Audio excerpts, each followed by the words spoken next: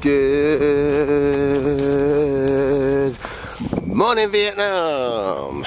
We are an hour, I think, into the trek. We have to.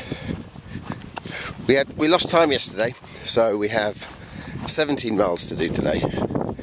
Uh, I reckon so. We'll probably we have to do four miles, eight miles this morning.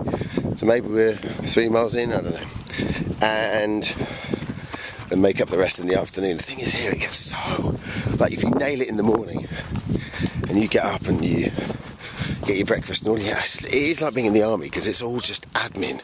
It's just you know, you've got to get your kit sorted out and make sure your tent's down and make sure your kit's sorted for tomorrow and make sure your feet are okay. Um, and then get your head down. I'm sleeping, yeah, touch wood. You wake up on the hour almost every hour. Um, but you you do sleep pretty well.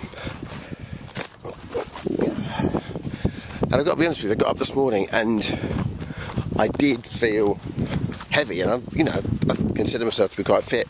But we did a good 12 miles, sort of, especially with that gradient, as you can see back there, up and down yesterday. So another 18 to do today.